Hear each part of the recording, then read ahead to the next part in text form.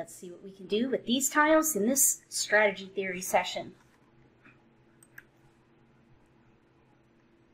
When you organize your tiles, if you hold your control key down, shift key, it'll move the tile to the opposite rack real quick. Speed is of the essence because you have two minutes to figure out what you're going to do. All right, we've got lots of BAMs and dots. We have, okay, so we have a pair of sixes with cracks, three, six, seven, red, white, north, and east. Pair ones, two, three, four, five, pair five in BAMs, and then a seven. And then with our dots, we have one, two, pair four, five, six, seven, nine. I wonder if we could play the one, three, five, seven, nine pair hand Maybe. Let's see. One, three, five, seven, nine, and two suits with pairs of ones and nines. So that leaves us with these tiles on top. You always want to try to play a big hand with one of your hands. And then for the other option, maybe two, four, six, eight. Let's let the wind go. So I think maybe we could play the pair hand, second from the bottom under singles and pairs, and then something consecutive or two, four, six, eight if we get eights. There's an eight. Wind. Now I would not play another pair hand in this case because we've got two, four, six, eight primarily, One dot. and we have multiples. The 2, 4, 6, 8 numbers in that pair hand are singles.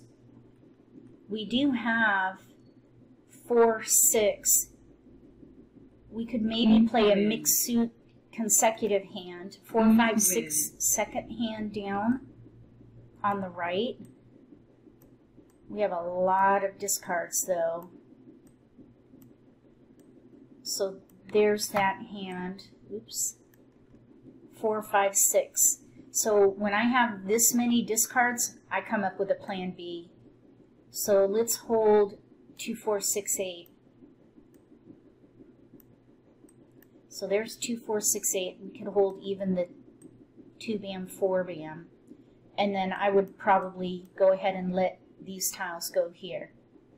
So four, five, six, or two, four, six, eight. The thing about the 2468 situation is they're not really gelling very well at the moment. Let's let the 3 go. Three characters. So here's 248. We have 246. 8. If we put this over here, 2468. We have a pair of flowers. So there are three hands that use flowers.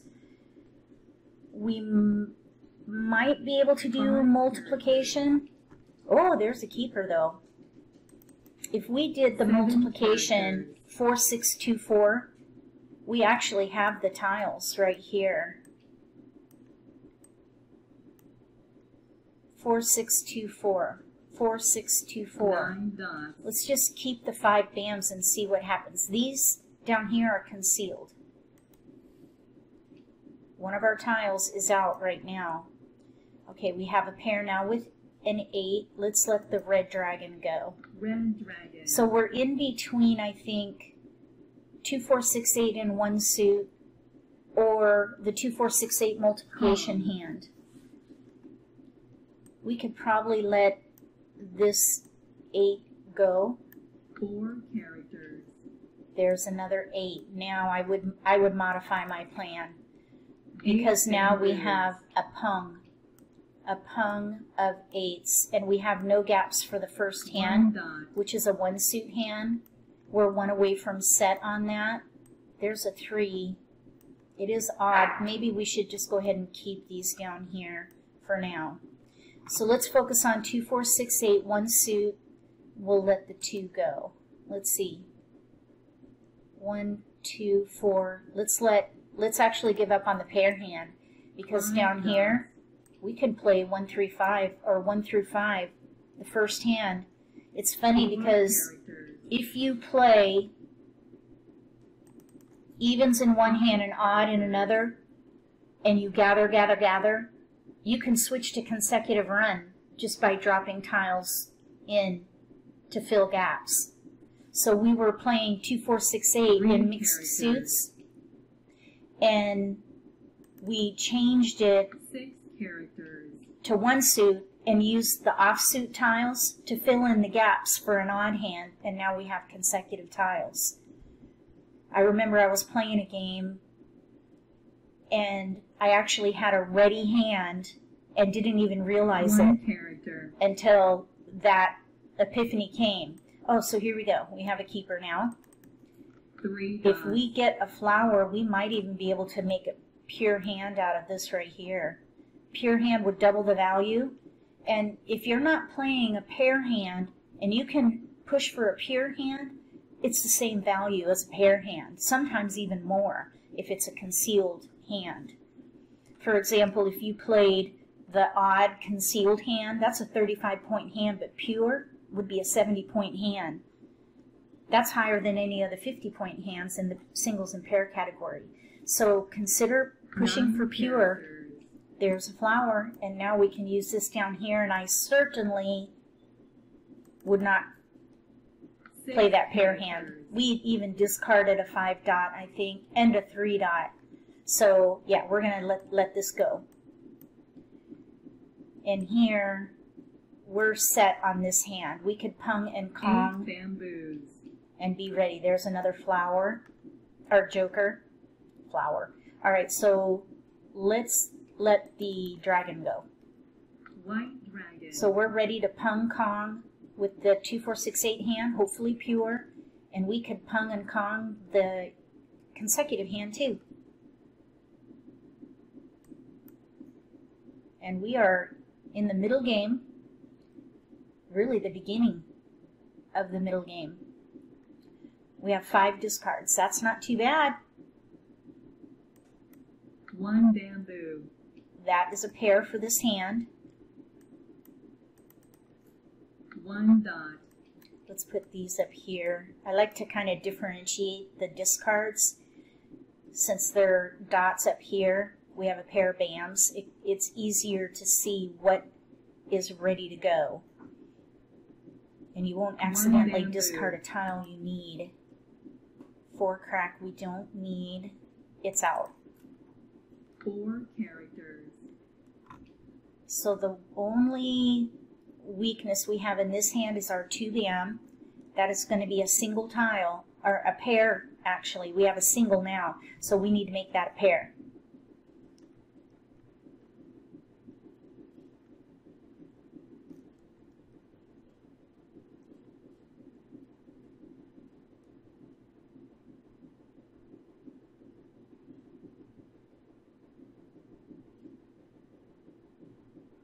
I believe you get one minute.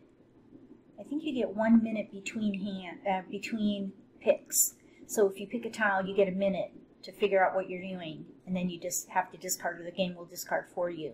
In the beginning, when you first get your tiles, you get two minutes. So they have nine seconds left. Two characters. Okay, so there we go. Oh, we got a keeper. So now this hand Seven is dots. one away one away from ready on a two bam so we still have some some weakness there. But it's close enough to ready that I'm not concerned unless they Kong a two bam which I wouldn't mm-hmm. know because I'm not going to discard a two bam. I'm going to use it. But for all we know they could have two, a two bam we don't have to do pure. Another thing we could do is maybe try to double mahjong, and we would get double value for both hands. Two characters. There's another joker. Seven bamboos. All right, so let's see. This hand is ready to win now on a two bam. North wind. There's the two bam. So we could maybe make one of these hands pure. One of these might be able to be pure. We have too many jokers, I think, to have both pure. I think I would make one pure and one using the jokers. Four dots. Okay, that's a pair for us, so we're okay there. We do have a winning South hand, wind. but I want to try to make it pure if possible. We're still in the middle game, so we have time, but once One you dot. once you get into that end game, your opponent can declare double mahjong and you'll get no value. So timing is critical and situational aware- awareness is just as critical. So we need to watch the tiles. I think for the, let's see, we need one, two, three tiles, two tiles to get ready for both hands.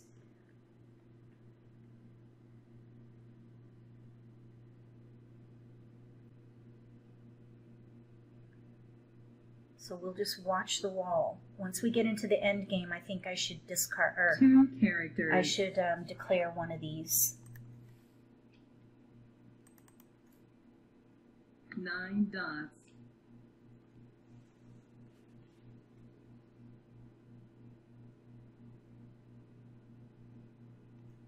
White dragon.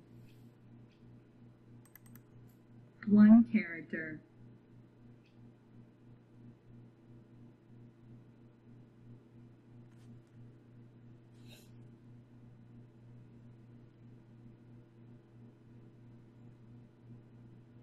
I was just thinking if we get a characters. green dragon, we might be able to play. Oh, there we go. There's there's a flower now.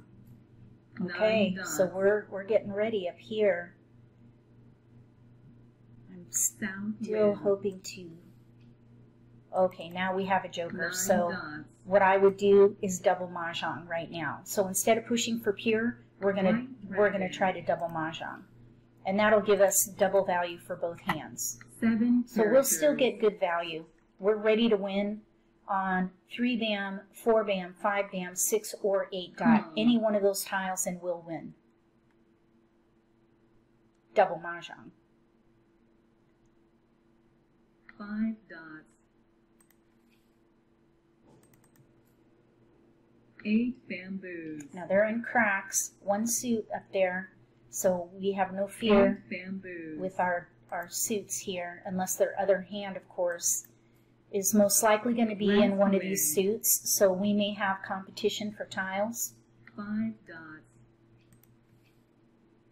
We have our single two two dot. We're good there. That's a fresh Two tile dots. though. Okay. Green dragon. Nine bamboos. That is already out. West wind. Three dots. One of four tiles. dragon. One of four tiles. And we'll have a double mahjong. North wind. This this game puts me on the edge of my seat every time. We're White we're in the end game now. Three dots. Green dragon. Green We're dragon. at least getting safe discards.